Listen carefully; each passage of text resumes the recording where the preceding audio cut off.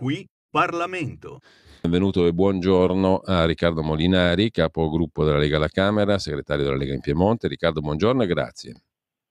Buongiorno e saluto a tutti. Che settimana è questa dal punto di vista del calendario della Camera dei Deputati, Riccardo? Mm, questa è una settimana in cui continueremo la discussione sul um, codice della strada, su cui siamo andati avanti anche la settimana scorsa.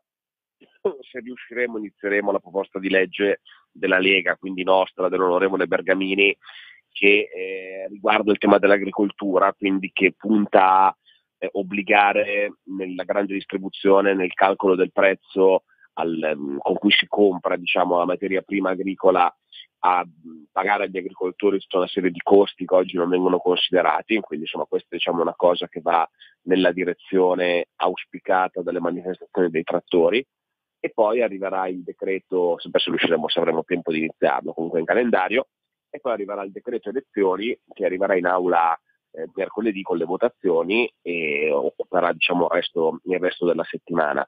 Eh, inoltre ci saranno anche le comunicazioni della Premier Meloni in vista del Consiglio europeo questa la settimana. E poi c'è un'audizione del ministro Giorgetti al Copasir prevista per domani, se non erro, giusto? Mm. Questo non lo so, essendo diciamo, le riunioni del Copasir segretate, però eh, può, mm. certamente può essere, ecco, non, non ho idea.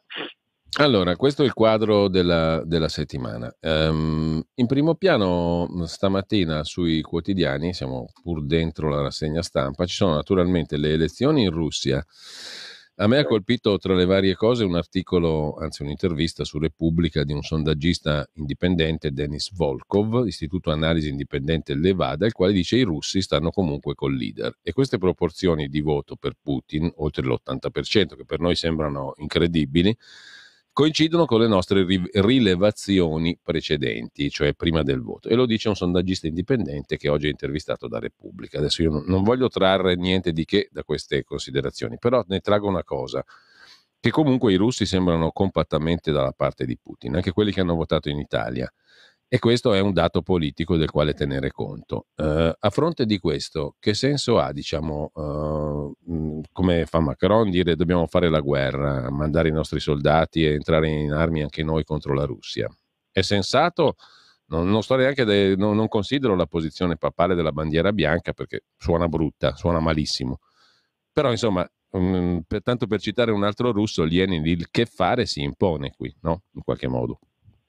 Beh, allora, le, le, parole di Macron sono assolutamente delle follie che anzi dal mio punto di vista indeboliscono molto il fronte pro-Ucraina, perché se passa l'idea che diciamo, difendere il diritto degli ucraini di difendersi voglia dire mandare i soldati della Nato, portare la Nato in guerra con la Russia, si indebolisce chiaramente il fronte perché poi chiaramente nessuno è d'accordo su questo. No?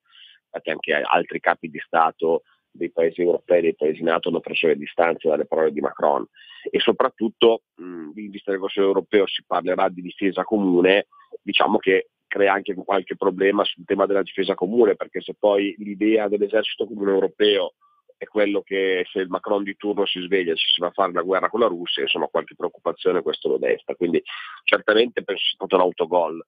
Quello di Macron è un autogol per chi insomma punta a una maggiore coesione europea e, o, o, sul fronte della difesa dell'Ucraina.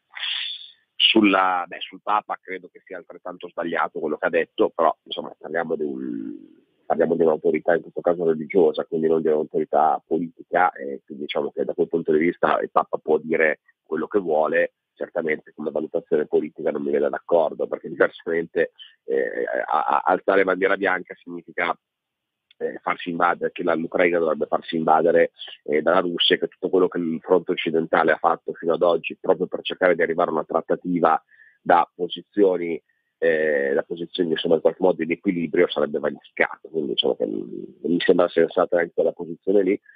Per quanto riguarda il, eh, il plebiscito su Putin, beh sì, sicuramente l'opinione pubblica russa è dalla parte di Putin, questo senza dubbio che nell'opinione pubblica russa ci sia questa idea, questa idea imperiale, imperialista di Putin piaccia, è assolutamente, assolutamente no. La, la cultura è quella, la, la, la Russi, i russi da sempre si sentono una grande potenza, eh, sentono un attore globale, non si sentono una potenza diciamo, territoriale o locale, ma sono, hanno la, la mentalità dell'impero, no? quindi ci sta che una certa retorica, un certo tipo di atteggiamento piaccia, in tutta onestà va anche detto che però, insomma, non essendo la Russia una democrazia compiuta e di fatto essendoci solo Putin candidato, è anche più semplice avere il plebiscito. Ecco. Quindi sicuramente c'è un sentimento a favore delle politiche di Putin, c'è anche da dire che chi dissente finisce in carcere in Siberia o si becca il caffè avvelenato e diciamo che non, non esiste una vera opposizione. No? Quindi mh, sicuramente intercetta il consenso del popolo, c'è anche da dire che è un regime, ecco, quindi dobbiamo tenere in considerazione tutto. Detto questo, per arrivare poi alla tua domanda, è chiaro sì. che il studio dell'Ucraina aveva l'obiettivo, l'obiettivo di portare le forze militari su una situazione di stallo, cosa che è stata più o meno raggiunta e da cui bisognerebbe iniziare poi a trattare, anche perché l'Ucraina comincia ad avere grandi problemi anche a livello di eh, personale, di persone da mandare in guerra, ma sta finendo gli uomini, e quindi prima o poi eh, un tavolo di pace si dovrà imporre. Allora, questo sarà senz'altro un altro dei temi della politica internazionale di quest'anno, no? perché la vicenda non, non mi sembra di, che si possa pensare che si risolva a breve. Eh, è anche densa di sviluppi possibili, alcuni dei quali, come dicevi anche tu prima, preoccupanti. Mm, se è lecito, diciamo, passare dai macro temi a quelli più ridotti, però insomma ci interessano perché ciò che è vicino interessa sempre, la Basilicata. Mm? Ne parleremo sì. più tardi. Eh, facendo un piccolo focus con il collega Maurizio Bolognetti, giornalista segretario dei Radicali Lucani, ma ti voglio chiedere subito che roba è questo campo largo. Mm, adesso è facile fare ironia in questo momento, noi abbiamo fatto a nostro modo, Orazzi e chi Orazzi, qua il campo si allarga, ma um, è sufficiente per tenere dentro tutti quanti. Oltretutto qui c'è un dato politico che ti sottopongo perché l'ho accolto un giornale di area, eh, Il Tempo, eh, che dice attenzione perché è nato il Renzusconi. Tutti dicono no, è tutta una roba locale, mm, non, un, non, ha una proiezione nazionale, però sta di fatto che Renzi e Calenda appoggiano il candidato del centrodestra, il presidente uscente Bardi. Ha un significato politico solo locale, come si dice, o, o no? Beh, allora, Renzi e Calenda hanno già, è già capitato che appoggiassero dei candidati, dei candidati di centrodestra, tendenzialmente li appoggiano quando sono candidati di Forza Italia, questo sì, sono, o comunque civici, eh, ci sono città in cui eh, Renzi e Calenda sono nati con la sinistra, ci sono città in cui sono nati col centro-destra, tendenzialmente andavano con la sinistra quando il candidato era della Lega o di Fratelli d'Italia e andavano col centro-destra quando era di Berlusconi o era Civico. E questo si vede anche sulle regionali perché appunto appoggeranno Bardi che è di Forza Italia in Basilicata, eh, ad esempio anche in Piemonte dove il candidato è Cirio mh, c'è una sorta di patto di desistenza per cui non faranno le liste eh, con la sinistra e metteranno alcuni loro candidati nella lista civica del presidente Cirio quindi mh, che da parte loro ci sia un, un, atteggiamento favorevole ad appoggiare i candidati di Forza Italia è vero, quindi è una tendenza che non inizia in Basilicata, insomma, che c'è già da qualche anno. Poi per quanto riguarda il campo largo, beh, insomma, eh, si commenta da sé, nel senso che in questo weekend abbiamo visto in Basilicata la nomina di questo primario, insomma, di questo medico a sua insaputa, questa roccambolesca eh, rivolta di alcuni sindaci del PD, eh, riunioni infinite, poi questo candidato che si, ridice, che si, ritira perché non poteva fare la campagna elettorale perché era molto impegnato in sala operatoria, insomma una, una cosa abbastanza disarmante e tutto sempre per accontentare Conte. Insomma, abbiamo un PD che insegue il Movimento 5 Stelle, che ha scelto eh, di eh, non guardare al campo moderato, al campo riformista, ma inseguire il, il 5 Stelle eh, sulla sinistra radicale, sulla sinistra, mh, permettetemi, un po' diciamo assistenzialista, ecco, quella del reddito di cittadinanza, cioè il PD sta diventando quella roba lì, non più il partito diciamo, che conosciamo anche noi al nord, no? di quegli amministratori riformisti che per carità magari la pensano diversamente da noi su alcune cose, ma con cui si può ragionare, no? di temi come le infrastrutture, l'industria, cioè ora si stanno spostando mm. sulle posizioni grilline.